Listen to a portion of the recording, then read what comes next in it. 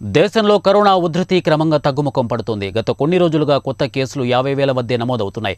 గడిచిన ఇరవై నాలుగు గంటల్లో యాభై వేల నలభై కేసులు నమోదు కాగా పన్నెండు వందల యాభై ఎనిమిది మంది కరోనాతో ప్రాణాలు కోల్పోయారు. ఈ వీడియో మీకు నచ్చినట్లయితే మా ఛానల్ని సబ్స్క్రైబ్ చేయండి లైక్ ఇవ్వండి మీకు నచ్చిన వారికి షేర్ చేయండి.